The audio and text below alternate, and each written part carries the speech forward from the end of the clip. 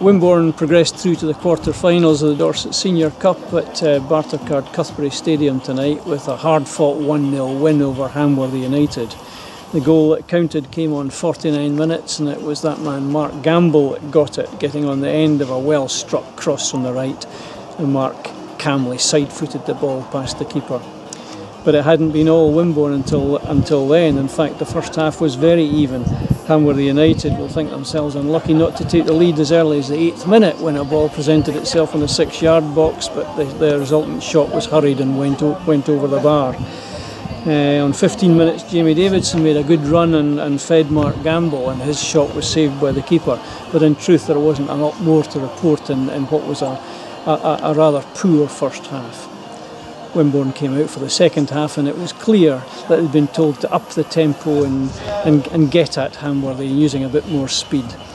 They played really well for 15 minutes, and uh, it ended with that goal from Mark Gamble. 1 0 to Wimborne then, and on the hour mark, uh, Steve Cuss took the opportunity of, of bringing, bringing on Chris Wilcox, Louis Kellaway, and Sam Griffin for Mark Gamble, Matt Kemble, and Jamie Davidson.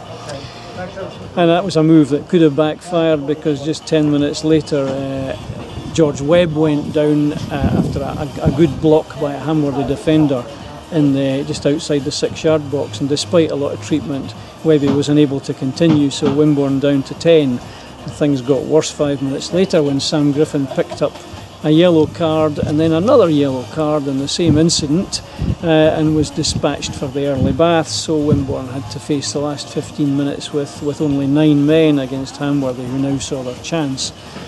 Ben Field made a couple of really good saves in the second half, but in truth, there wasn't a lot more he, he had to do, and Wimborne saw out the remaining minutes without too much alarm overall, Steve Cuss will be happy with, with, with, with the result, if not particularly with the performance, and he'll have he'll be worried about um, uh, the fitness of, of George Webb ahead of Saturday's big uh, trophy game at, at, Dorchester.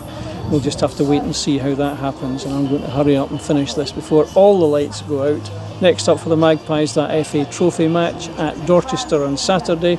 we'll look forward to seeing you there.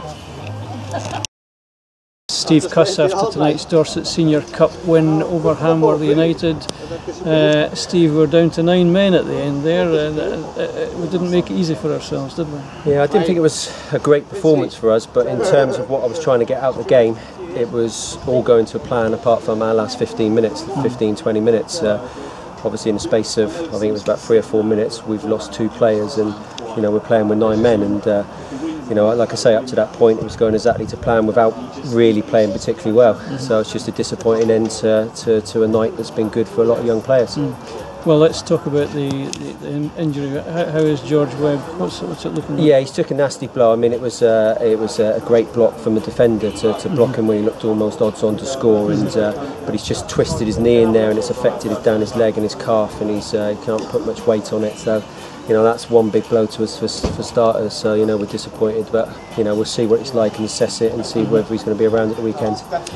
First half wasn't a great game of football. I mean, arguably Hamworthy should have been ahead early on when they put that ball over, over, over the bar. But I mean, second half I thought we came out with much more purpose, up to tempo, and uh, we looked good. We looked good and and, uh, and, and got the goal yeah. we deserved. I was disappointed first off because I thought that there was a few players there that, that had an opportunity to come out and really put on a performance mm-hmm. tonight mm. and they didn't play our way. They didn't do what we did, and mm. I thought defensively we're, we're off them, mm. and uh, attacking wise we just didn't pass it. And uh, you know we pass it when we when you're in the team and you've got to be brave and you've got to move that ball around. And I didn't think we did that enough, but. Mm-hmm. I thought it was the reverse when we come out. That 15 minutes at the start of the second half was was very good, and I thought we played with real pace. Yeah, and um, we got a goal, and you know that was enough to win the game tonight. But you know, on another night, you could find yourself a goal down, two goals down, and you, can, you can't do that. So it's, it's a learning curve for the lads that come in. Uh, you've got to be at it all the time, whatever whatever game you're playing in, and uh, you got to you got to do what's what's asked of you. So,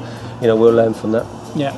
Um, Dan Burton Hemmings got the sponsors man of the match, and I don't think that would be any surprise to anybody here. Uh, he put in a good shift. Yeah, you know we got a lot of time for Dan. He's uh, you know he's naturally left-footed, full of pace, uh, got good skills, and you know he can be a real threat in front of goal. And he's unlucky not to score tonight. He, you know he created stuff, so really pleased with him. And you know I thought it was uh, a real baptism of fire for the other two young lads who come in. You know, the two lads, Louis and uh, Chris, who've been in part of uh, the under 18 youth squad. You, you throw them on, and you know, within five, ten minutes of them coming on, circumstances have totally changed. And uh, I thought the two of them adapted really well to what what was required to see us through to the end of the game because although we had nine men, I think Ben was only called on once to make a save. So you know the nine did a good job to see it out. Yeah, and young Chris Wilcox, who we saw in the FA Youth Cup, um, part of Nick Hutchings' winning team, he showed a few good touches when he came on. Yeah, again, I, I like the look of Chris. I think he does all the right things as a striker, um, but he'll learn tonight that it's there's the physical side of it, and uh, you know he took a few